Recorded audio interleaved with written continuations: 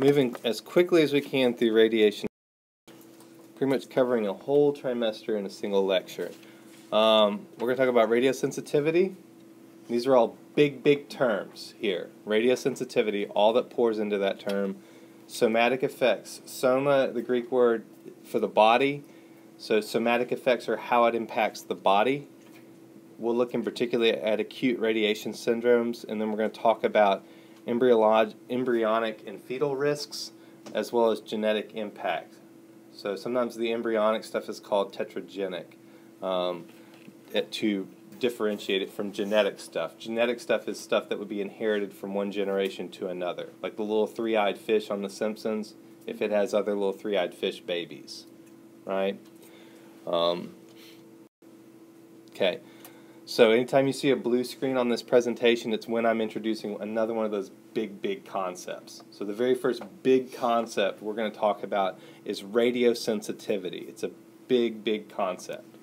Um, the ways that I'm going to break this down is we'll talk about dose-response relationships, relative tissue radiosensitivities, and that has to do with linear energy transfer and RBE, which is radiologic or relative biologic effect.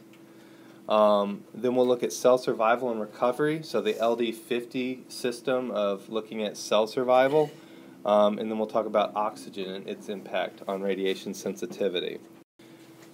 Typically, when I think about radiosensitivity, I think about it, um, I break it down mentally into, into the three big sciences that pour into it. They are biology, chemistry, and physics. So, what y'all have covered a lot of so far up to this point in your study is the physics part of it, these particle interactions, um, the ways that photons ionize things, and, and situations like that.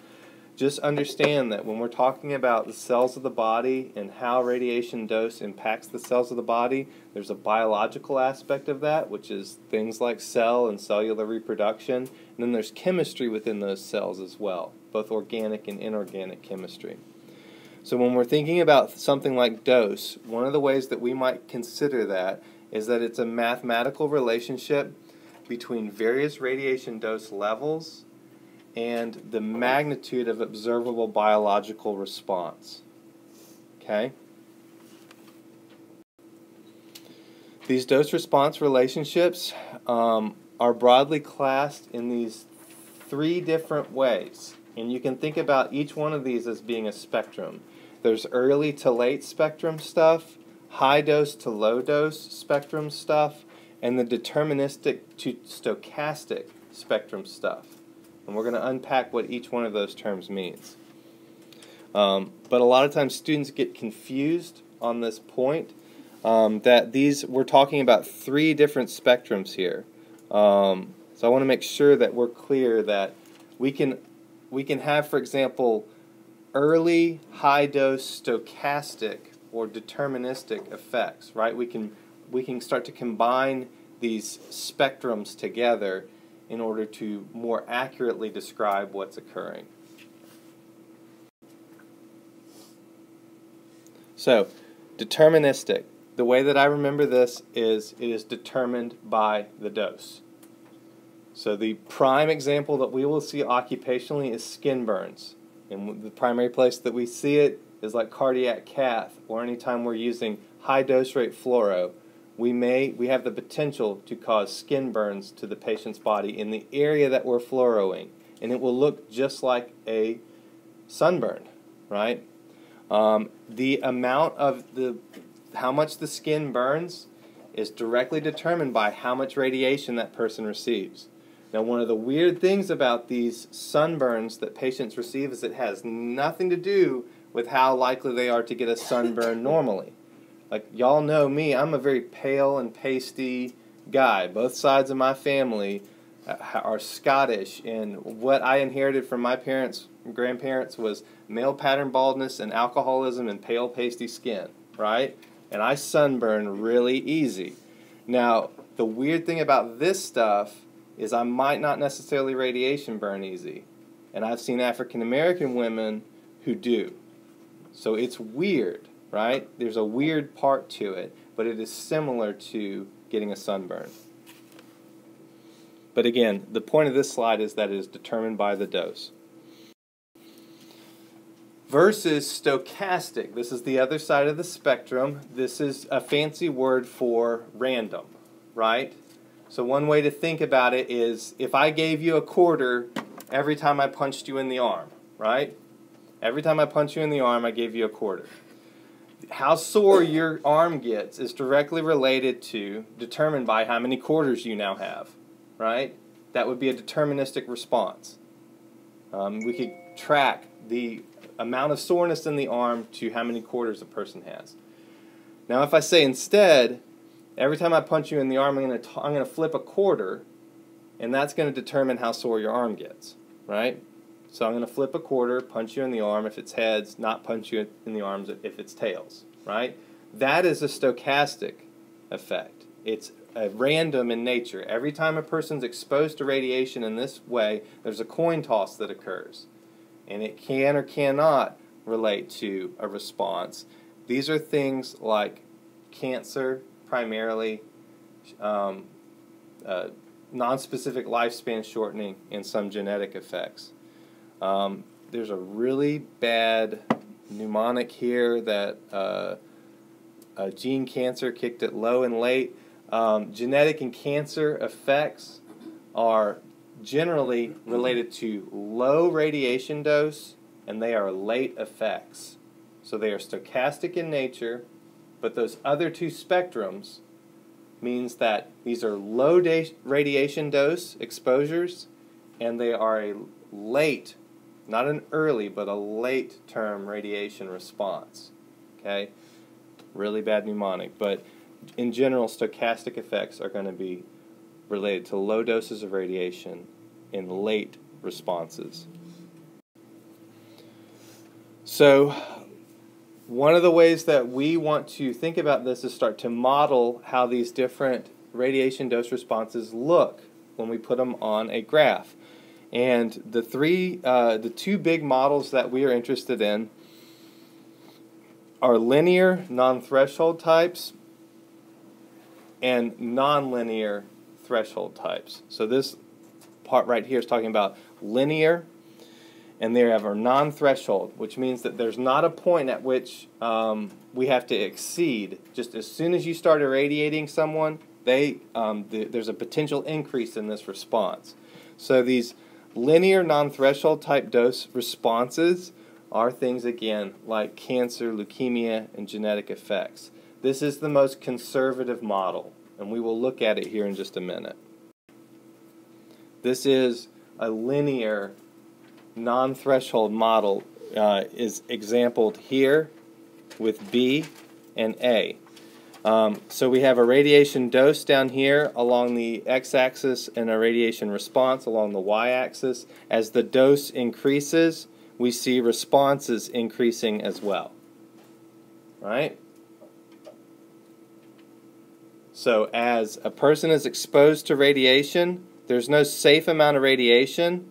We just see a potential increase in cancer incidence over populations. That's what B is modeling. This one right here, model A, is sometimes used to represent things like mental retardation. There's already a naturally occurring amount of intellectual disabilities in any given population. Um, when we introduce radiation into that population, we see that incidence increase from that already present amount of intellectual disability. So again, no threshold. Just as soon as the person is irradiated, we start to see the potential for a response. And so this is again related to those stochastic effects of radiation, things like cancer. By contrast over here, line C and line D both have a threshold. You can see D sub T means there's a dose threshold. We hit a point, so the person's been irradiated, irradiated, irradiated, bam. And when we cross this threshold, that's when we start to see the response. Example of that might be cataracts, right?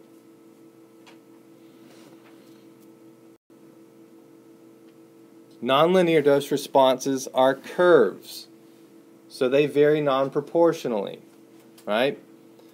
Um, generally, what we deal with are nonlinear threshold dose responses, so that final one, and I'll show you what that looks like here. It is curve C in this illustration. This is generally how we model the deterministic radiation dose responses, the ones that are determined by the dose.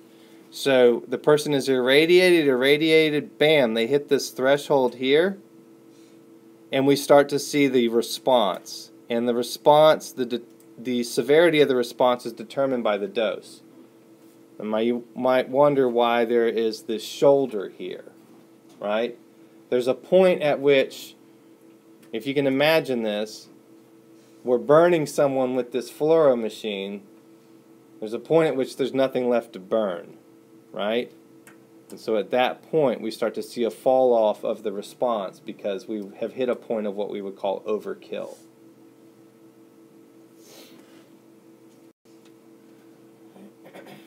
Our one thing that's fortunate for us all is diagnostic radiology is concerned almost exclusively with the late effects of radiation exposure and therefore linear, non-threshold dose response relationships. The good news about that is that we are going to follow the most conservative model of radiation dose response for our work. Okay, so we've talked some about doses and these responses that we're going to look at. Now we need to talk about the tissue itself. And in 1906, Bergonié and Tribondeau and one other researcher in France did the first some of the first research into radiosensitivity as it relates to different cell types. So the different cells in the body have different radiation dose responses. Um, one of the things that they found is that stem cells are more radio uh, radio sensitive than mature cells. So mature cells are more radio resistant. Younger tissues and organs are radio sensitive. So we talk about how embryos, fetuses, young children are more radio sensitive than adults, and some of that has to do with just sheer size of their body as well as um, how young the tissue is. Tissues with high metabolic activity are radiosensitive, and so this discovery led to the development of radiation oncology because the most rapidly dividing cell in the human body is probably a cancer cell. So it's highly, highly, it's very typically a very simple kind of cell, um, and it's also highly metabolic. Um, so this high proliferation rate for cells and a high growth rate for tissues result in increased radiosensitivity. That is the law of Bergonié and Tribondeau. Both parts need to be present in order to be expressing that law, both high metabolic rate um, and high proliferation or uh, um, well, immature cells are more radiosensitive. So here is it graphically displayed here from a range from resistant to sensitive. And so over here on the resistant side, we have muscles, nerves, and the brain on the organ level.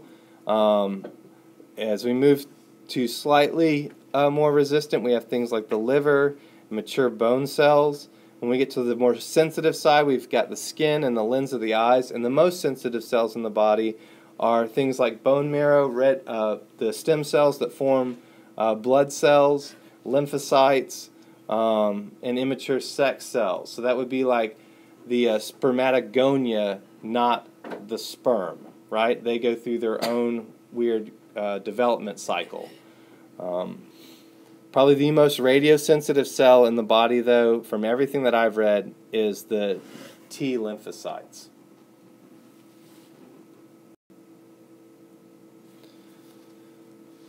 We also have to consider how the radiation it, itself um, affects the tissues, and so we need to consider different types of radiation, and that's a very specific term. When I talk about radiation type, I mean is it particulate? Is it photon? What type of particle? Those kinds of things. Because each type of radiation has its own amount of, radi- of energy that it distributes as it passes through biological tissue. X rays distribute very little energy. They pass straight through the body. Gamma rays and X rays both pass straight through the body and don't ionize a whole lot of stuff. Things like alpha particles, though, they're heavy particles. They're basically helium nuclides, meaning they're um, like a helium atom without the electrons. They pass through the body like a bowling ball, and they're going to get stopped that much sooner, right? So they're going to give off all their energy in a single set of impacts that are very, very detrimental to the body. So they have a higher amount of linear energy transfer. We can express it in all these goofy ways. Um, you don't necessarily need to remember that the diagnostic LET of x-rays is 3 kiloelectron volts per micron, but this is nerdy stuff that helps us uh, quantify what it is we're talking about. These are very specific measures. Okay. Another thing that influences this and is a way that we continue to model this is an LD50. Um, we can make LD50s for exposures to all sorts of things. So when you pump gas, guess what? Pumping gas is related to incidents of genetic mutation and cancer and uh, mental retardation, all of those things. We don't think about that when we pump gas, but guess what? Inhaling gasoline fumes has an LD50-30. If you sit around and inhale enough gasoline fumes, 50% of the population will be dead in 30 days, right? That's what that term means. It means a lethal dose for 50% of the population. And generally, it's given over an amount of time. So the LD50-30 is a whole body dose of radiation that can be lethal to 50% of the exposed population within 30 days. But we use, again, we use that to quantify risk for all sorts of exposures. So this is a quantitative measure. It's fairly imprecise. We extrapolate this data from experiments on animals, right? We don't go out and irradiate populations and then see how many of them lived. Um, one of the things that we are interested in, and it's where we are fairly complex uh, life forms here on this planet, is we are interested in how different cell populations have their own LD5030s. So going back to that law of Bergonié and Tribondeau, different cell populations within your body have different LD5030s. Okay? So they contribute to the health of the whole. For humans, the LD5030 uh, for adults is generally 3 to 4 gray. That's a very high amount of radiation exposure. Nothing that you will ever be getting in a single day in diagnostic imaging. That would need to be given at a single acute instant. So here is that mapped onto that linear or that nonlinear threshold response curve. And so there's the curve again. And we see that there's a threshold around 1 gray. And at that threshold, we have a, a mild toe region where uh, the response is not that uh, significant. Only a portion of the population is dying off. But when we get up to about 3, somewhere between 3 and 4 gray, we have 50% of the population dead within a month. 3 to 4 gray. So, how do we um, think about that in terms of world health and things like that? One thing that we should understand about the human body is it has a remarkable ability to repair. Each cell does. In fact, the DNA, if it, the DNA is disrupted, which we would consider the target of radiation damage, is, would be disrupting the DNA. The DNA has the ability to repair itself. So repair processes can be initiated, which is part of what we're exploiting as X-ray workers, people working around radiation, is we work a certain period of time and then we take time off. No one needs to work in X-ray or in fluoro on, for a 24-hour shift, not just for their mental health, but for the health of their cells. Because during that rest period when we're sleeping or when we're eating or not working around the radiation, guess what? Our body's initiating repair mechanisms. Um, so there's repair enzymes that help uh, repair and recover uh, any sublethal doses of ionizing radiation. And after irradiation, surviving cells begin to repopulate. So even if we wipe out the stem cell population, they begin to repopulate. Finally, there is an oxygen enhancement ratio. And basically, this means that hypox uh, hypoxic areas or areas of low oxygen are less radiosensitive than areas that are oxygenated. So, well oxygenated areas are more radiosensitive. Um, this uh, is sometimes called the oxygen effect. It's largely academic in nature. It's something that you need to know. I believe it's in your key terms. Um, if you were to ask my opinion, like where does it relate most, is probably to things like space travel. Because the other people who are interested in this beyond us is NASA, right? Because they're trying to send people to Mars, and guess what outer space is full of? Radiation, right? So they need to understand if we if there's a way that we reduce oxygen in the space shuttle or whatever, are we going to reduce radiation dose responses? Okay, big blue screen here, which means we're shifting gears to another big, big concept. Okay? We've touched on all the aspects that influence radiosensitivity. We, we talked about how there's different ways that we can model it. There's both deterministic and stochastic effects, so there's things that are determined by the dose as well as random events that it increase in likelihood as dose increases. Um, and then we unpacked how different radiation types influence the body. Now let's talk about the body itself and these somatic effects. Somatic effects, again, just refer to the cells of the body. So depending upon the time from the moment of irradiation to the first appearance of symptoms, we are going to classify these as early or late somatic effects. Early effects. Generally, these are deterministic in nature. If you think about it, we said that stochastic was primarily cancer. The stuff you can't get cancer overnight is what I'm saying. But what you can get is a skin burn overnight, right? So these deterministic, they were used to be called non-stochastic, but basically deterministic because they're determined by the dose. The consequences largely can be attributed to cell death, and they are directly related to the dose received, so they increase. Generally, these doses have a threshold, and once we hit that threshold, that's when we start to see the dose response and the amount of biological damage depends on the actual absorbed dose of ionizing radiation. So there's going to be significant differences between a radiation dose from a particulate source of radiation versus something like a gamma ray or a, photon from an x ray machine. So here again is that threshold nonlinear dose response model. So, early deterministic somatic effects are going to appear within minutes, hours, days, or weeks. They require a substantial dose of ionizing radiation, like 1 gray or higher. Um, and diagnostic imaging in general does not produce a radiation dose uh, of that magnitude. The one exception we've mentioned already is high dose rate fluoroscopy.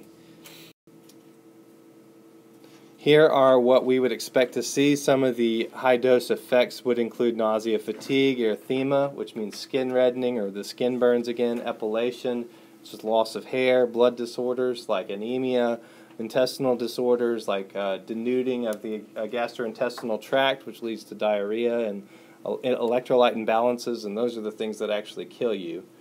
Um, fever, moist and dry disquamination, which means the skin starts to slough off and it looks kind of slick or moist on the outside, um, as well as depressed sperm and infertility for both males and females. That would be at a dose of higher than 6 gray to the genitals.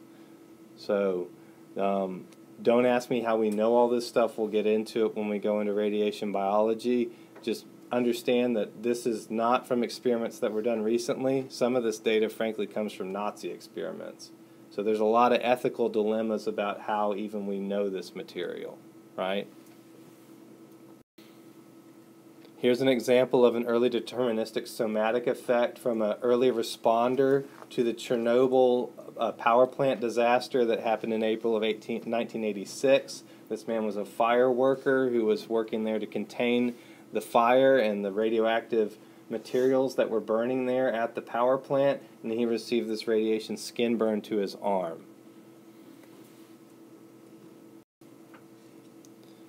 So I'm going to make another big shift here, and we're going to talk about acute radiation syndromes.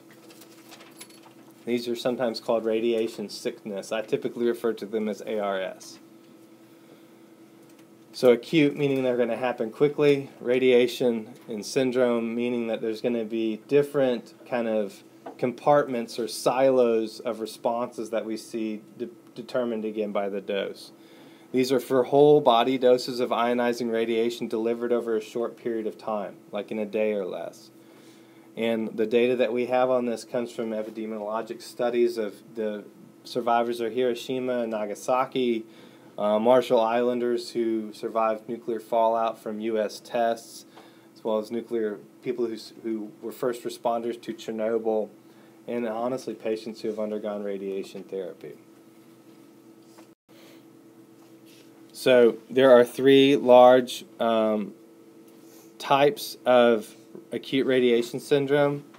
There's the hematopoietic syndrome, and this is, or sometimes called bone marrow syndrome. This is doses from 1 to 10 gray in tissue, so that should be gray sub T. It just didn't transfer over appropriately.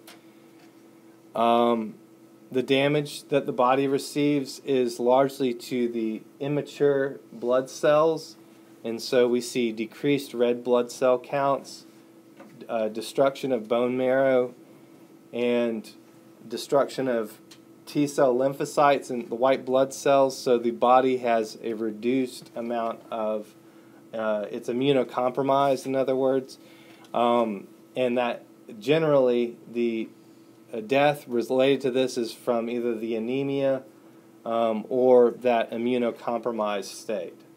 Okay. Um, once we hit to a threshold of about 6 gray, so 6 to 10 gray, and a little bit higher, we have GI syndrome. Um, this is where um, intestinal denuding occurs, and so um, next, kind of up our chart of radiosensitive cells, is the lining of the intestines. We kill the immature lining cells of the intestines. The mature cells continue to grow and function but then when that population of cells dies up off, there's not a backing population to meet the intestine's needs. And so we call this intestinal denuding. Um, if you can imagine, it's almost like having a sunburn throughout your digestive system, and you lose fluids rapidly, um, and that results in what we call electrolyte imbalance, which ultimately is fatal.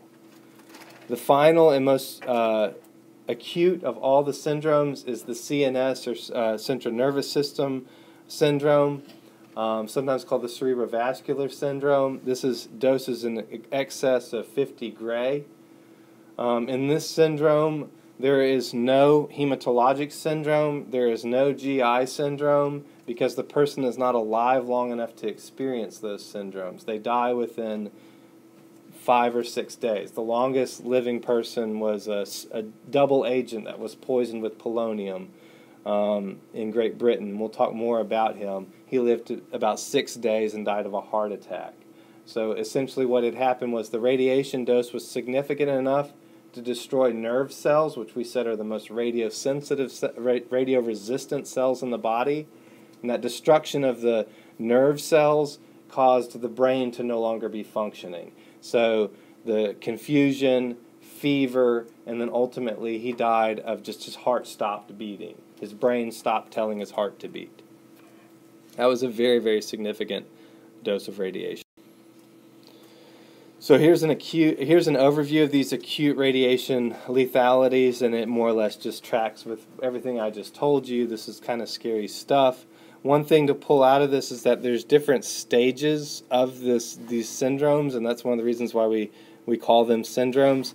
There's a prodromal, latent, and then manifest illness uh, period. So you can see prodromal means those very first things we see generally nausea, vomiting. If it's a significant enough dose, maybe confusion.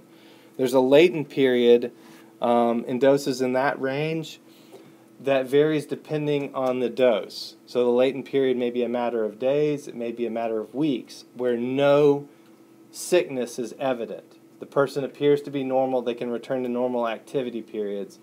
Then we hit the manifest illness, and that's where we have the uh, different uh, responses here.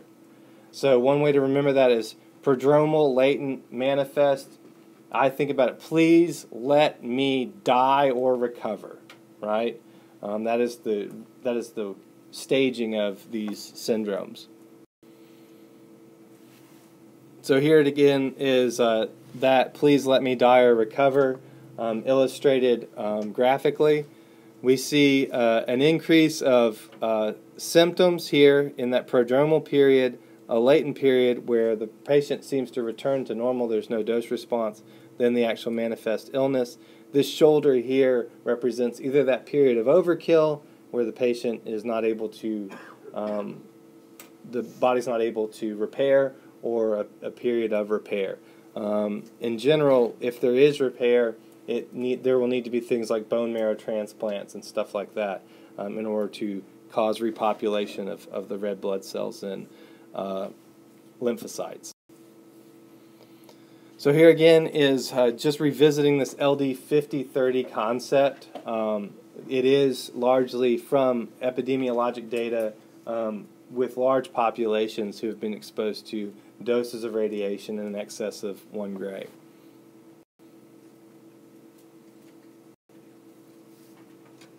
It looks like some of I apologize. Okay. Um, in the event that a person has been able to compensate for this exposure uh, to an acute and significant amount of radiation, um, they will, even if they're able to repair and recover, experience some atrophy of the organs and tissues. Um, we see this quite frequently with radiation therapy patients um, where we have irradiated the area, um, but there will be some atrophy or of function in that area. So it may we are going to give we're going to fractionate the dose and give them time to repair. Um, but even with that time to repair, um, there will be some atrophy. Uh, sometimes uh, the organ can, can come back, um, but the consequences is basically organs and tissues um, may lose their ability to function or they may recover almost fully. Here's an example of uh, radiodermatitis um, or cancerous lesions. This is a, a woman who survived uh, uh, I think it was the bomb that was dropped on Hiroshima.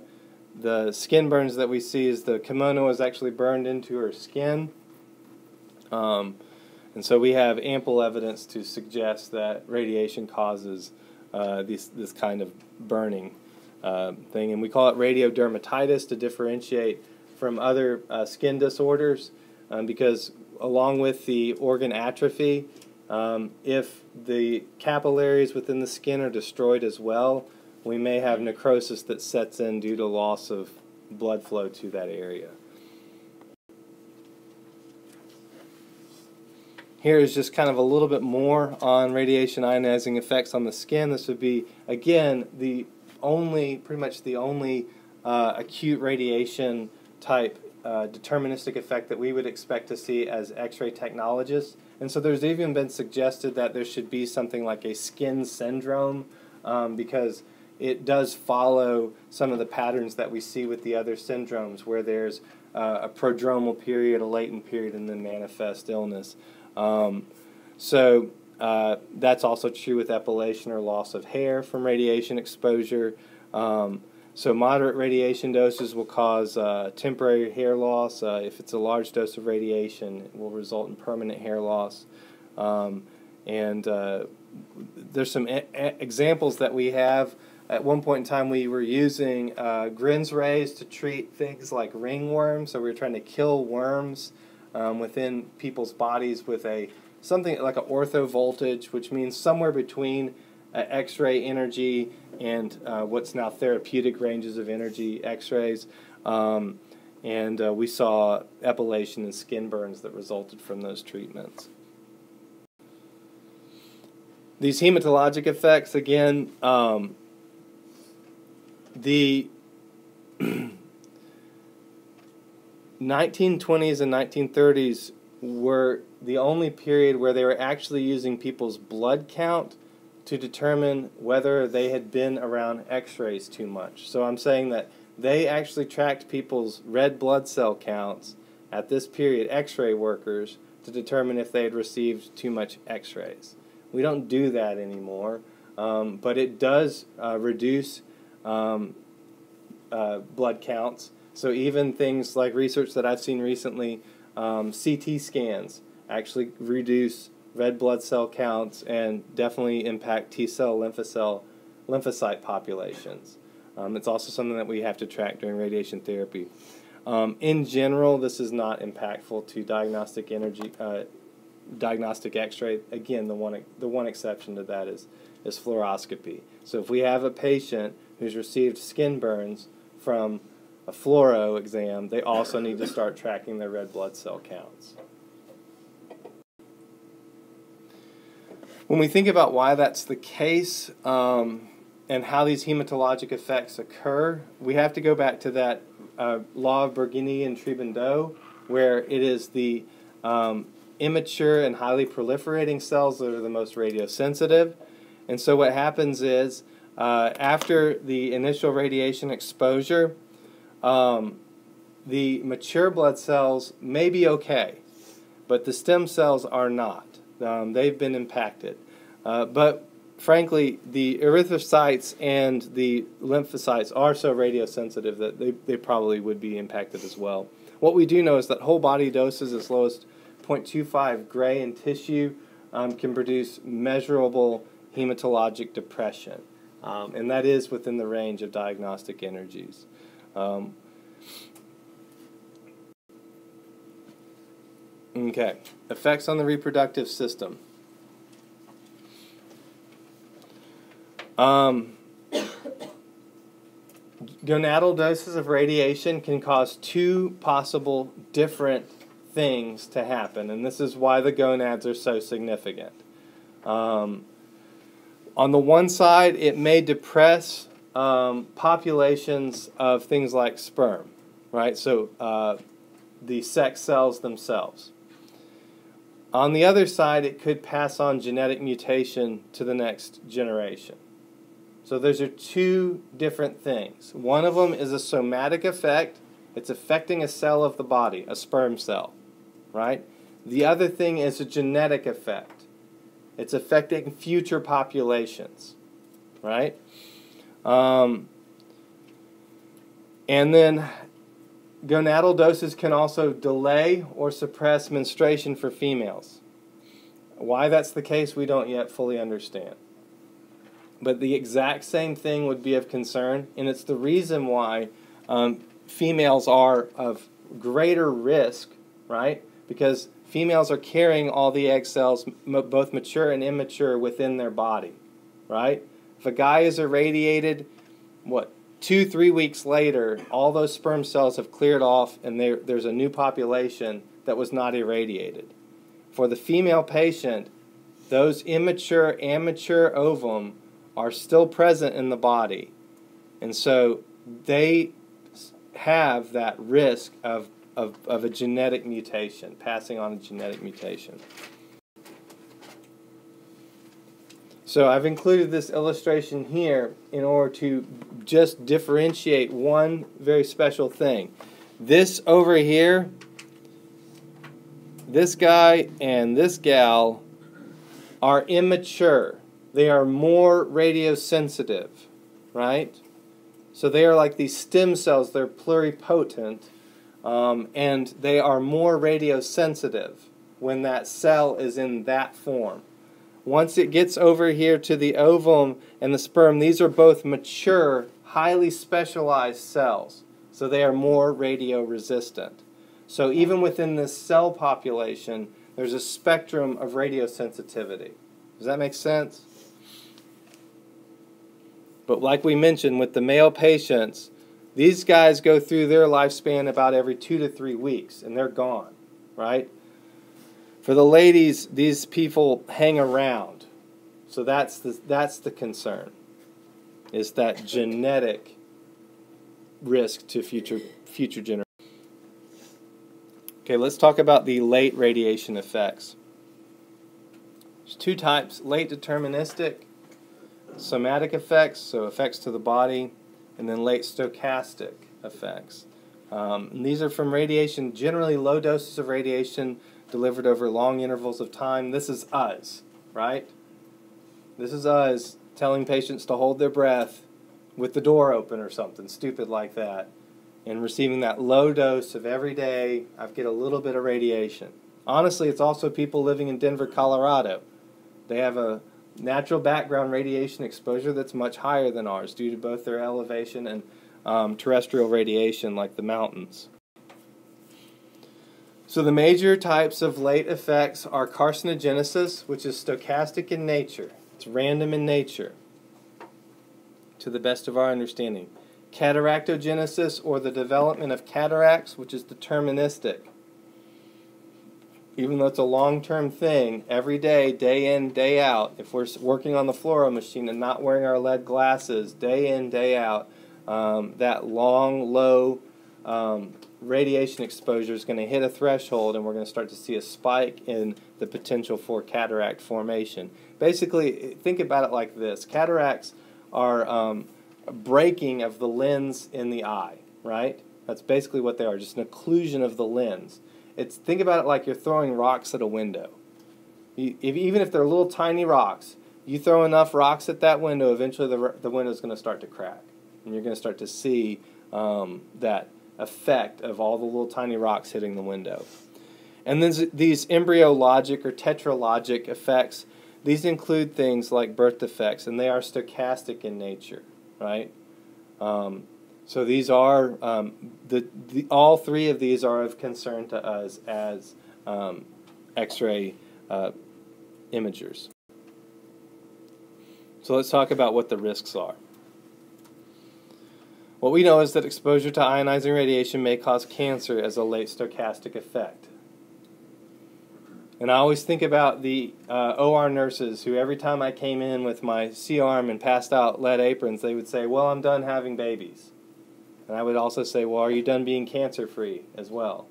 Because the concern is not just whether or not we're irradiating ovaries, it's also the potential risk for cancer. At high doses, the risk is measurable in exposed human populations. We do not have data on the low doses. We just don't.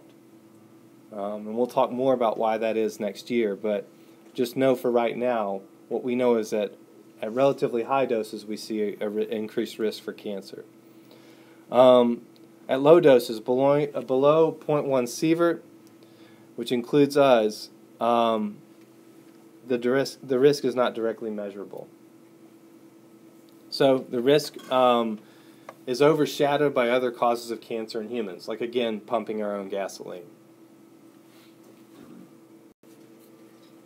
So let's talk a little bit about carcinogenesis. It is the most important late stochastic effect caused by exposure to ionizing radiation. If I was going to write a test question about this material, that would be one, right? What is the most important late stochastic effect or late effect of radiation exposure? it's random in occurrence.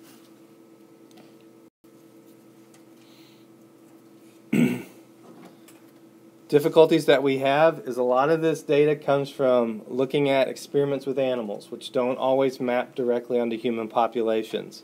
Also, within human populations, it may take five or more years for the cancer incidence to occur. So it's going to take time before we actually see the manifest illness.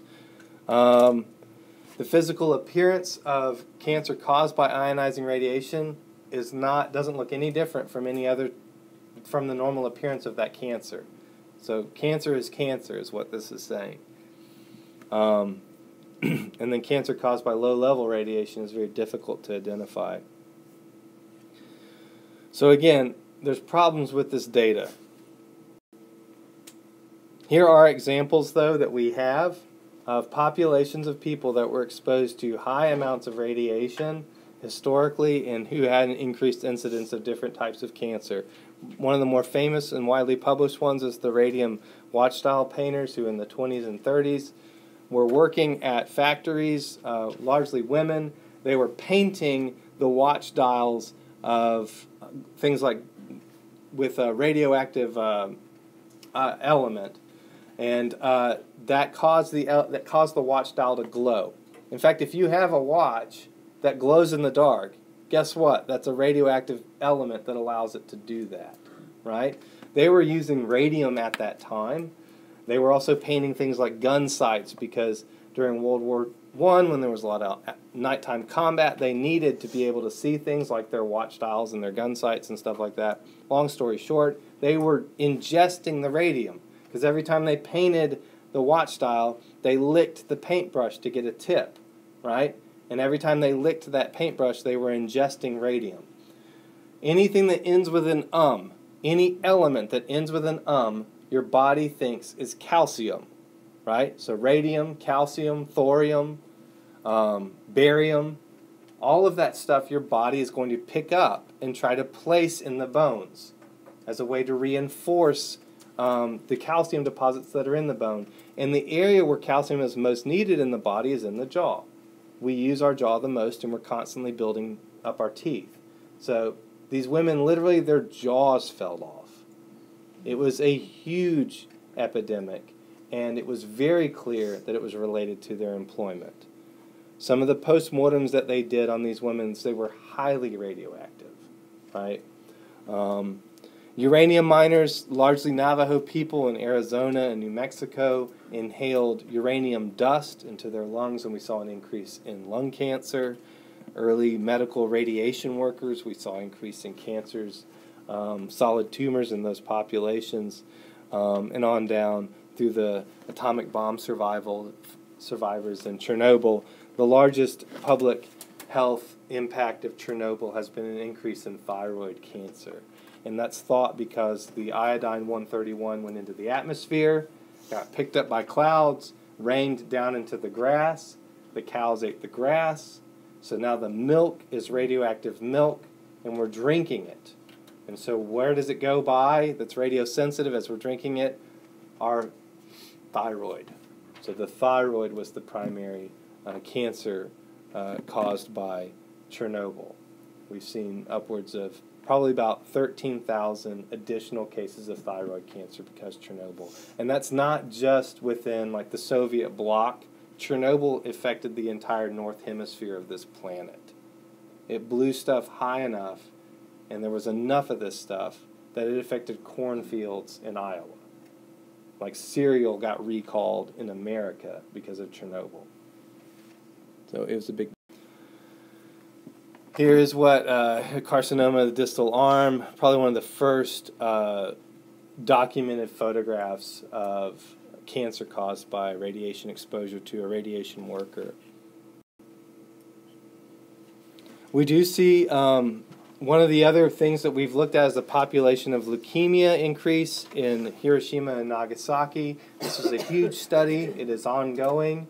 Um, related in a related study, there's actually a study you can look it up online of 250,000 X-ray technicians who were employed in the United States um, at or before the year eight, 1980 something, 1983, um, and it looked at what was their cancer risks, and that's an ongoing study. It's the largest study of its type.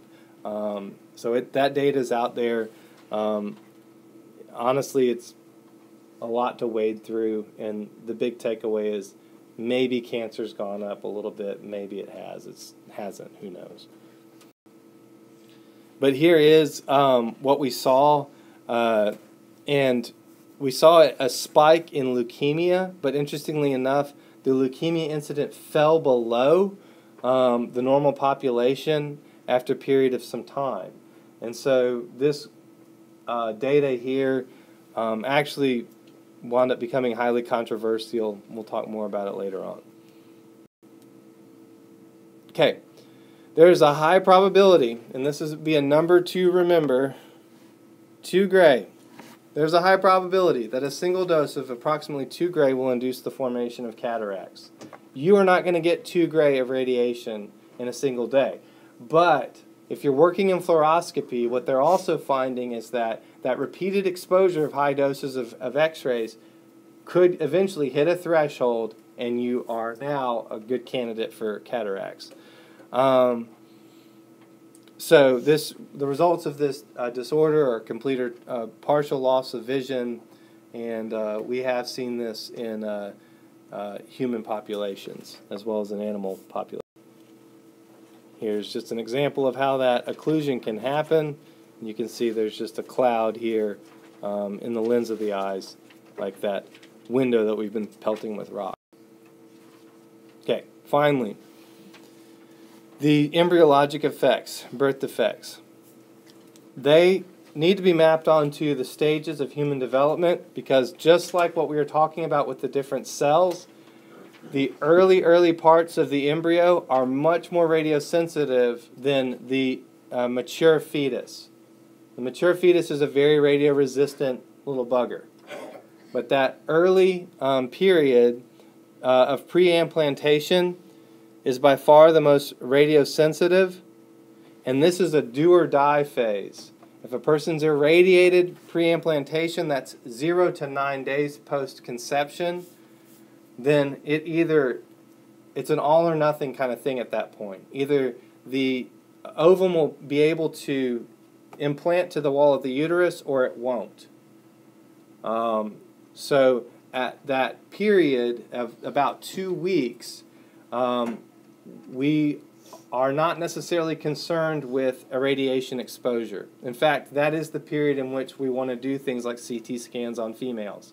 We will ask them questions like, when was your last menstrual period?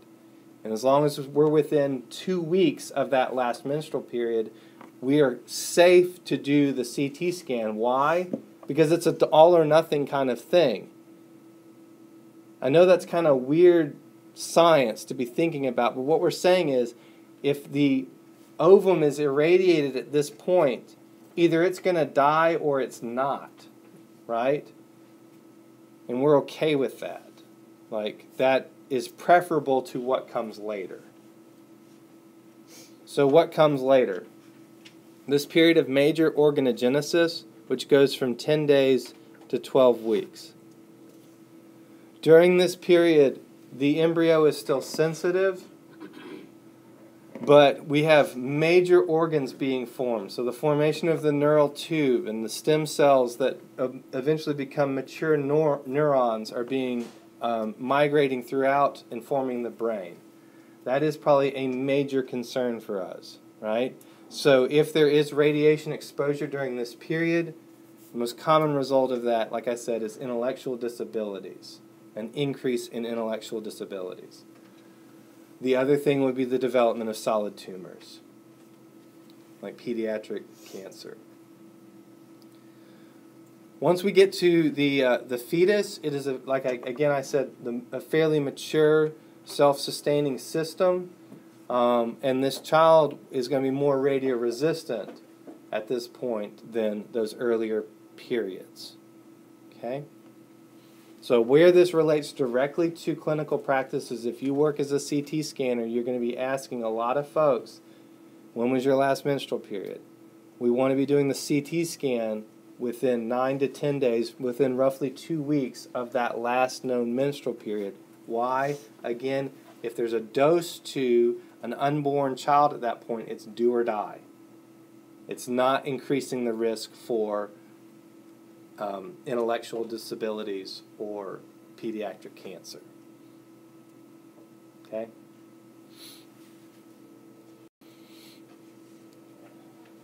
So we're saying that these genetic or hereditary effects are of more concern to us. Um, these are biologic effects on ionizing radiation on future generations. And I have news for you. The, uh, radiation has been here since the dawn of life on this planet. It is a key part of how organisms evolved and grew on this planet. And so it is part of our history as a species is that we learned how to adapt and even possibly developed adaptations related to radiation exposure. Um, nothing that we've seen in any of the data in terms of genetic mutation suggests that people become teenage mutant ninja turtles, right? All of the genetic mutations that we've seen are normally occurring mutations, right? They're normally occurring things that are at a point something percentage of the population has this um, rare disorder already. So we do not see people growing wings. right? We do not see, see people who are able to walk up walls or walk through walls like the X Men. What we see are things that are naturally occurring genetic mutations. Um, how are these caused? Um, well, there's radiation induced damage to the DNA molecule in either the sperm or the ova. And then that's passed on to the next generation. These map directly onto natural spontaneous mutations, um, and the result is genetic disorders and various diseases. Um, there's a lot of different mutagens that are responsible for genetic mutations, right? Radiation is just one in a long list. Okay.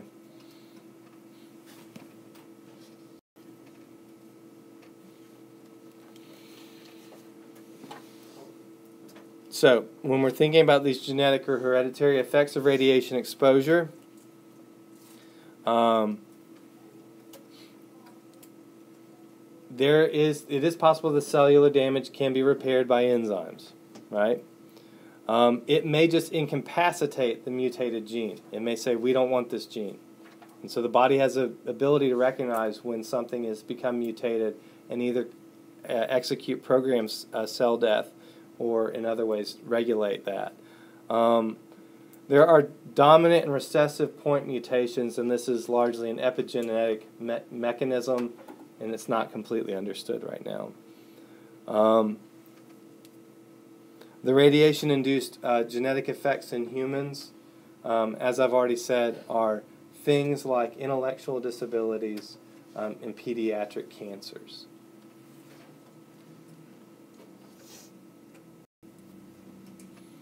Final thing that we should touch on here is a doubling dose concept. And this is whenever there's a dose of radiation that can be mapped onto causing a increase of at least twice in the population some genetic effect. We will call that a dose doubling. Um, and so, for example, a certain percentage of offspring in every generation have, for example, Down syndrome let's say it's 7%. There's radiation exposures that will also cause the increase of incidence of Down syndrome up to 14%. We would then call that a dose doubling exposure. Um, the estimated radiation uh, dose doubling amount is 1.56 sieverts. 1.56 sieverts. You might want to remember that number. It is a little bit important but it's good just to know what this concept means. Okay, let's take a break.